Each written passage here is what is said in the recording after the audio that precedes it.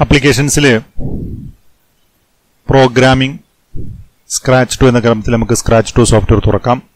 ഇവിടെ ഇതൊന്ന് മാക്സിമൈസ് ചെയ്യുന്നു. ഇവിടെ ഒരു സ്റ്റേജ് നമുക്കറിയാം. വൈറ്റ് സ്റ്റേജ് ആണുള്ളത്. ഇവിടെ ഈ സ്റ്റേജിൽ ക്ലിക്ക് ചെയ്ത് കഴിഞ്ഞാൽ സ്റ്റേജ് സെലക്ഷനായി ഇവിടെ താഴെ ചൂസ് ബാക്ക്ഗ്രൗണ്ട് ഫ്രം ലൈബ്രറി എന്ന് ക്ലിക്ക് ചെയ്ത് കഴിഞ്ഞാൽ വ്യത്യസ്ത ബാക്ക്ഗ്രൗണ്ടുകളുടെ ഒരു ലൈബ്രറി തുറന്നു വരുന്നു. ഇവിടെ ബാക്ക്ഗ്രൗണ്ട് ലൈബ്രറി എന്നുണ്ട്. നമുക്ക് ഡാൻസ് ചെയ്യുന്നതിന് വേണ്ടിയിട്ടുള്ള ഒരു ബാക്ക്ഗ്രൗണ്ട് ഒരു ബാക്ക് ആണ് വേണ്ടത്. അത് ഇതിനകത്തുണ്ട്. നമുക്കത് ഒരെണ്ണം സെലക്ട് ചെയ്യാൻ നോക്കൂ ഇവിടെ ഒരെണ്ണമുണ്ട് അതുപോലെ ഇവിടെ ഒരെണ്ണം വന്നിട്ടുണ്ട്. ഇതിൽ ഈ ഒരു ബാക്ക് ഡ്രോപ്പ് ഞാൻ സെലക്ട് ചെയ്ത്. ഓക്കെ ക്ലിക്ക് ചെയ്യുന്നു. നോക്കൂ അപ്പോൾ ഇവിടെ ഒരു ബാക്ക് ഡ്രോപ്പ് വന്നിട്ടുണ്ട്. നമ്മുടെ പൂച്ചക്കുട്ടിയെ നമുക്ക് ക്ലിക്ക് ചെയ്ത് ഈ സ്റ്റേജിന് മുകളിലേക്ക് കൊണ്ടുവന്ന് നിർത്താം. ഇനി ഈ പൂച്ചയെ നമുക്കൊന്ന് ഇളക്കേണ്ടത് ഒന്ന് വർക്ക് ചെയ്യേണ്ടതുണ്ട്. അതിനുവേണ്ടി നമുക്കറിയാം when green flag clicked green flag click ചെയ്യുന്ന സമയത്ത് കൺട്രോളിൽ നിന്ന് നമുക്ക് ഫോർ എവർ എല്ലാ സമയത്തും എന്ത് ചെയ്യണം? ഇതിന്റെ കോസ്റ്റ്യൂംസ് മാറ്റണം. കോസ്റ്റ്യൂംസിൽ നോക്കൂ ഇവിടെ രണ്ട് കോസ്റ്റ്യൂം ഉണ്ട്. ഈ രണ്ട് കോസ്റ്റ്യൂമുകൾ ഇത്തരത്തിലുള്ള ഒരു ചെറിയൊരു ഡാൻസിംഗ് ആണ് ഇവിടെ ഉദ്ദേശിക്കുന്നത്. അപ്പോൾ ഇവിടെ കോസ്റ്റ്യൂം മാറ്റുക എന്നുള്ളതിന് ലുക്സ് മെനുവിലാണുള്ളത്. നെക്സ്റ്റ് കോസ്റ്റ്യൂം ഫോർ എവർ ഒരു അര സെക്കൻഡ് നേരത്തെ നമ്മൾ പ്രവർത്തനങ്ങൾ ചെയ്ത പോലെ ഒരു അര സെക്കൻഡ് സമയം അതിന് വെയിറ്റിംഗ് കൊടുത്തതിന് ശേഷം ഇപ്പോൾ പ്രവർത്തിക്കുകയാണെങ്കിൽ ഇത്തരത്തിലുള്ള ഒരു ഡാൻസിംഗ് ആണ് ഇപ്പോൾ നമുക്കിവിടെ കാണുന്നത്. ഇനി നമുക്ക് ഇഫ് കണ്ടീഷൻ ഇവിടെ നമുക്ക് കാണാം ഇഫ് ദെൻ എന്നുള്ള ഈ ഒരു കണ്ടീഷൻ ഉപയോഗിച്ചുകൊണ്ട് ഇതിൽ എന്തെങ്കിലും പ്രവർത്തനങ്ങൾ ചെയ്യാൻ കഴിയുമോ എന്ന് നോക്കാം. നമുക്ക് ഈ പൂച്ചക്കുട്ടിയുടെ കളറ് മൗസ് പോയിന്റർ ഈ പൂച്ചയുടെ മുകളിൽ എത്തുന്ന സമയത്ത് ഈ പൂച്ചക്കുട്ടിയുടെ കളർ മാറുന്ന ഒരു പ്രോഗ്രാം നമുക്ക് ചെയ്യണമെങ്കിൽ. ഇവിടെ ലുക്സിൽ നോക്കൂ. ലുക്സിൽ change colour change colour effect by twenty five എന്നുള്ള ഒരു കോഡ് നിങ്ങൾക്ക് കാണാം. ഇഫ് എപ്പോഴാണ് നമുക്കിത് വേണ്ടത്? മൗസ് പോയിന്റർ ഈ പൂച്ചയുടെ മുകളിൽ എത്തുന്ന സമയത്താണ്. അപ്പോൾ ഇവന്റിൽ പോയി കഴിഞ്ഞാൽ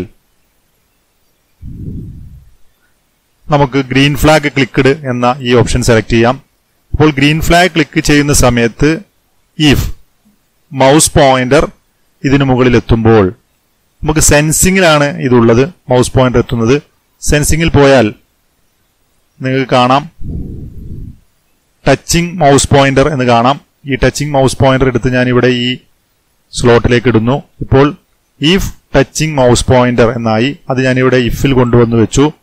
അങ്ങനെയാണെങ്കിൽ എന്ത് ചെയ്യണം? Change colour effect by twenty five എന്ന് കൊടുത്തു. ഇവിടെ നമുക്ക് വെയിറ്റ് പോയിന്റ് ഫൈവ് സെക്കൻഡ് എന്ന് നൽകാം. ശേഷം നമ്മൾ സ്റ്റോപ്പ് ചെയ്ത് വീണ്ടും ഒന്ന് റൺ ചെയ്യുന്നു. ഇനി നമ്മൾ മൗസ് പോയിന്റർ ഈ പൂച്ചയുടെ മുകളിൽ എത്തിച്ചു നോക്കൂ. ഇവിടെ ഫോർ എവർ എന്നുകൂടി നൽകേണ്ടതുണ്ട്. എല്ലാ സമയത്തും നമ്മൾ എല്ലാ സമയത്തും ഗ്രീൻ ഫ്ലാഗ് ക്ലിക്ക് ചെയ്യുന്ന സമയത്ത് മാത്രമല്ല എല്ലാ സമയത്തും വേണം എന്നുള്ളതിന് ഫോർ എവർ എന്ന ഒരു കോഡ് കൂടി ഇതിനകത്തേക്ക് ചേർക്കേണ്ടതുണ്ട്. ഫോർ എവർ കൂടി ചേർത്തു. സ്റ്റോപ്പ് ചെയ്ത് വീണ്ടും റൺ ചെയ്യുന്ന സമയത്ത് നോക്കൂ.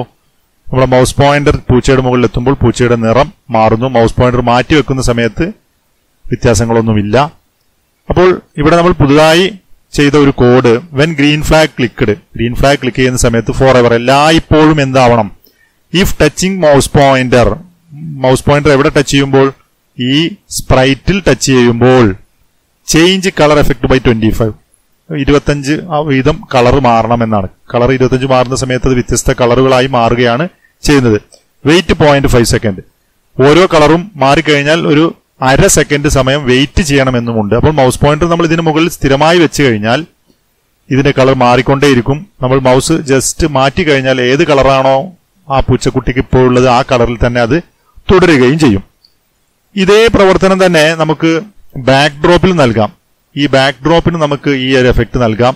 അതിനുവേണ്ടി ഇവന്റിൽ പോയിട്ട് when green flag clicked green flag click ചെയ്യുന്ന സമയത്ത് ഫോർ എവർ എല്ലായ്പ്പോഴും എന്താണ് സംഭവിക്കേണ്ടത് ആ ലുക്സിൽ പോയി കഴിഞ്ഞാൽ change colour effect by twenty five നമുക്ക് ലഭിക്കും. മാത്രമല്ല നേരത്തെ പറഞ്ഞതുപോലെ കൺട്രോളിൽ നിന്നൊരു പോയിന്റ് ഫൈവ് സെക്കൻഡ് ഇവിടെ സെലക്ട് ചെയ്ത് നൽകുകയാണെങ്കിൽ ഇപ്പോൾ നമ്മൾ ഇത് ഈ കോഡ് എഴുതിയിട്ടുള്ളത് നമ്മുടെ ബാക്ക് ഡ്രോപ്പിലാണ് സ്റ്റേജിലാണ് അപ്പോൾ സ്റ്റേജിലും ഇത്തരത്തിലുള്ള കാര്യങ്ങൾ നടക്കും. എന്താണ്? സ്റ്റേജിൽ എല്ലാ സമയത്തും അതിന്റെ കളർ ഇരുപത്തഞ്ച് പോയിന്റ് ഫൈവ് സെക്കൻഡിൽ മാറുന്നു എന്നാണ് നൽകിയിട്ടുള്ളത്. ഇതിന് പ്രത്യേക കണ്ടീഷൻസ് ഒന്നും നൽകിയിട്ടില്ല. അതുകൊണ്ട് ഞാൻ ഇതൊന്ന് സ്റ്റോപ്പ് ചെയ്തു. വീണ്ടും റൺ ചെയ്യുന്ന സമയത്ത് നോക്കൂ. ഇപ്പോൾ ബാക്ക്ഗ്രൗണ്ടിലും ഈ നിറം മാറുന്നു. അപ്പോൾ നമുക്കത് ലൈറ്റുകൾ കത്തുന്നത് പോലെ തോന്നുന്നു. കളർ ഇവിടെ മാറുകയാണ് ചെയ്യുന്നത്. ഇതേ സമയം തന്നെ നമ്മൾ സ്പ്രൈറ്റ് വണ്ണിന്റെ കോഡിൽ എഴുതിയ ഈ കോഡ് പിന്നെ നമ്മുടെ മൗസ് പോയിന്റർ ഈ പൂച്ചയുടെ മുകളിൽ എത്തുകയാണെങ്കിൽ പൂച്ചയുടെ കളറും ഇത്തരത്തിൽ മാറുന്നത് നമുക്ക് കാണുവാൻ കഴിയും.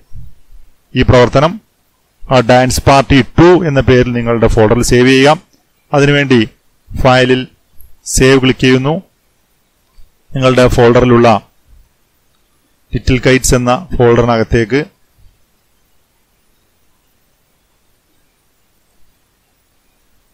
ഇത് ഡാൻസ് പാർട്ടി വൺ അല്ല ഡാൻസ് പാർട്ടി ടു എന്ന പേരിൽ സേവ് ചെയ്യുന്നു.